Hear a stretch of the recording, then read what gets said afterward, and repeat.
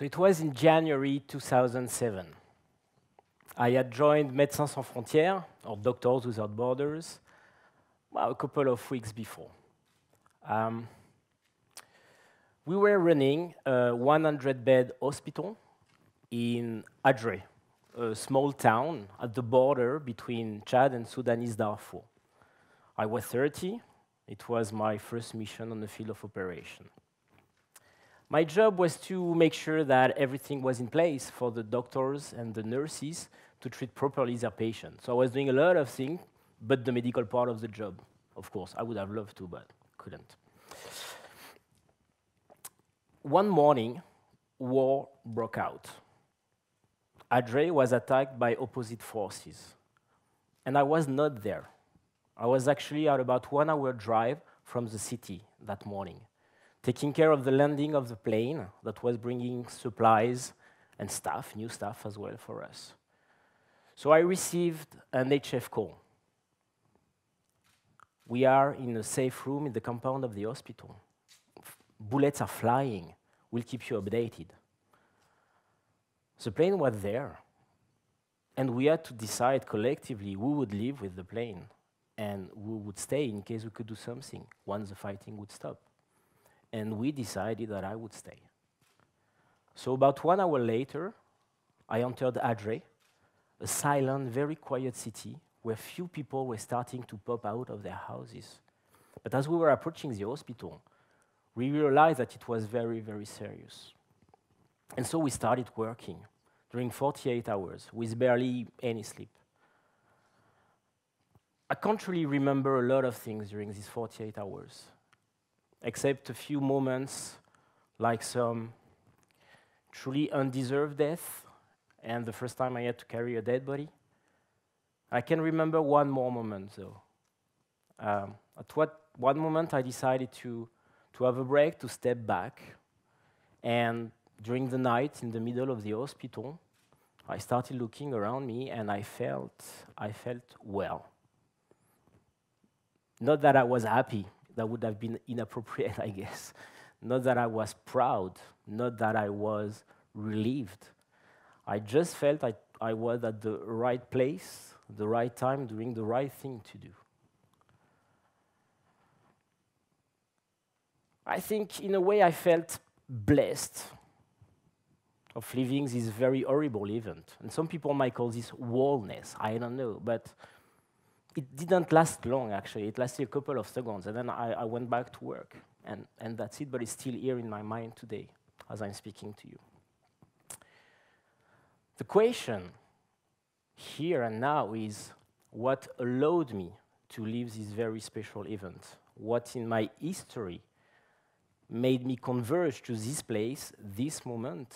And more importantly, because we're speaking of change, what made me an actor of something that I had dreamt of so much before, in this case, alleviating the suffering of some people. Well, I believe that most complex things can be modelized with a triangle, so I will speak about a, a change triangle. I think in order to become an actor of change, it starts with some kind of frustration, something between I'm feeling a, a, lack of something, a little bit of something, up to a deep indignation, right? In order to feel this frustration, you need to know deeply who you are, if you have a personal mission, personal values on one end. And on the other end, you need to sense well your environment, the need of the environment, what's happening out there. And when you see something out there which is not aligned with something in here, I think the first driver of change is activated, and I would call it the frustration driver. You feel frustrated by something, and you have the willingness to align what you sense with who you are. But that's not enough. In order to turn this frustration into an action, you have to align this with another thing, which is what you do, your capabilities. For instance, I guess many of us in this room here um, dreamt of becoming a vet when they were young, right? Because we all like pets. Okay, all right. So if you become a vet and you like pets, you're basically, you are internal consistent, right? And this is a second driver of change. But at the same time, I don't think that the need of the environment is that all of us become vets, right? Because the needs for vets are fulfilled with a certain amount of vets. So it's about our suitability.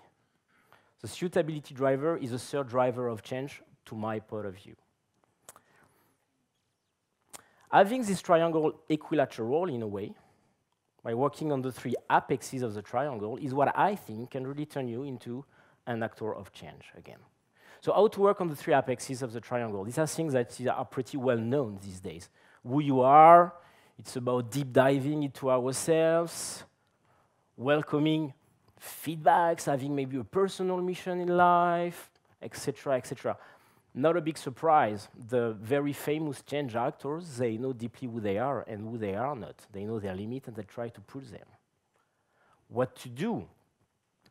What to do, it's about increasing your capabilities, about lifelong learning, it's about experimenting as well, trying new things. And what you sense is a lot about openness, being curious, obviously, having few, if no, orthodoxies, or less, or sorry, at least being aware of your own orthodoxies, so that you can challenge them sometimes. This triangle is kind of self-reinforcing to my point of view. And there is no one single entry point. Like, for instance, if you experiment new things, you might discover things about yourselves as well that you didn't know before. You might discover things about the environment. So it's self-reinforcing, and it may become a trap or a comfort zone. And I think for some reason in your life, it's totally okay, it's totally fair to leave this triangle and to open a new one or to run a new one in parallel. I think it's fair, and I think it's probably even needed in a lifelong journey. So the question here now, the next question is how to make sure that we're not falling into this trap, right? And not be stuck in one triangle. And here I would like to give you two personal tips two personal ingredients of change, I will call them. So now back to my personal humanitarian story. Um, at that specific moment in Adre that night, I could really feel that my triangle was equilateral in a way, right? Because I was sensing, I was witnessing something out there which was echoing deeply with my personal value at the time, and I was there doing something right? I spent 10 years with MSF, and I truly enjoyed it, every moment. Um, I probably could have stayed happily ever after with MSF, maybe not happily, but at least wholly ever after with MSF. But at the same time, I was really scared about this comfort zone that could make me blind and lazy in a way.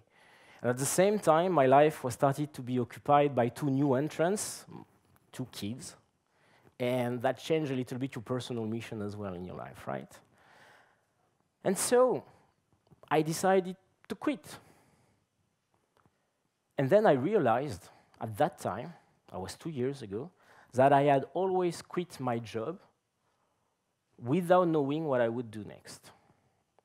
And that it was very important to me because it puts me regularly in a kind of a danger zone where my brain is actually super active, you know, in a survival mode,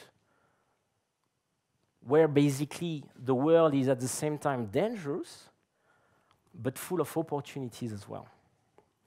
And so it helps me think, design new triangles around. The survival ingredient, I will call it the survival ingredient. and so I became a consultant in agility, which is something I had never thought before. And I, I really need to quit MSF in order to think that I could become these kind of things. So that was two years ago. And I don't know what I'm going to be doing in two years' time from now. I really don't know, and actually, I don't want to know because I want to leave my options open. And this is my second tip, my second ingredient. It's about the freedom ingredient. All right? It could be phrased this way Try not to put yourself in a situation that will anchor what you will be doing in X years, team, uh, X years time from now.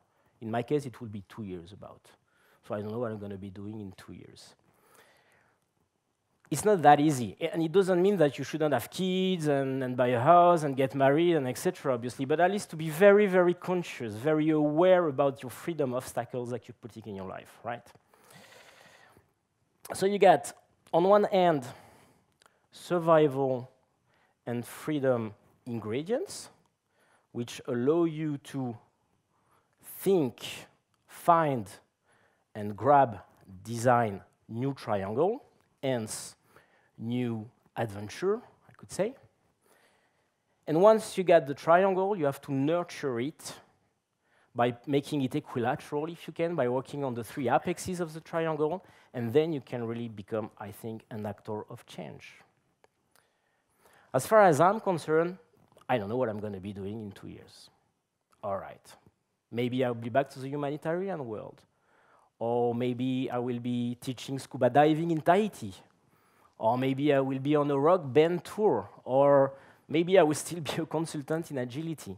I don't know, and I'm very, very fine with this uncertainty. Because what I know is that if I don't mess up, I will be able to feel again the same kind of feeling that happened one night in Adre, the feeling of being where I'm supposed to be and doing what I'm supposed to do.